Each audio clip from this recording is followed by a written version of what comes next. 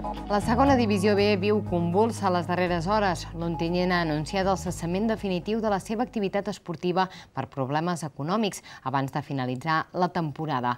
El club valencià va jugar contra l'Olot fa tan sols dues setmanes en un partit que va acabar amb empat a zero.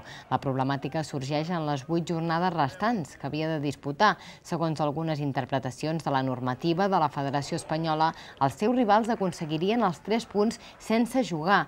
Això provocaria que Ebro i Badalona superin l'Olot, complicant-li la classificació per la propera Copa del Rei i caient a la onzena posició. El Peralada, per la seva banda, també veuria com l'atrapen clubs que actualment es troben en descens. A l'espera de la resolució definitiva, l'Olot encara no ha anunciat si presentarà reclamacions davant el possible desgreuge que suposaria aquesta decisió.